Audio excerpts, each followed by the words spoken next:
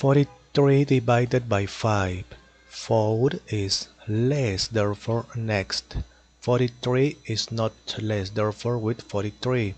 5 multiplied by which number is nearest to 43 but not greater 5 multiplied by 9 is 45 45 is greater multiplied by 8 is 40 40 is not greater okay 43 minus 40 is 3 next that is not number, therefore complete always complete with 0 here with point 0 point.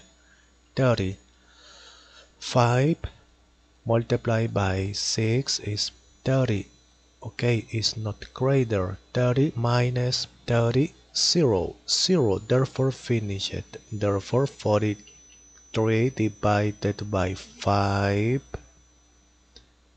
is Okay,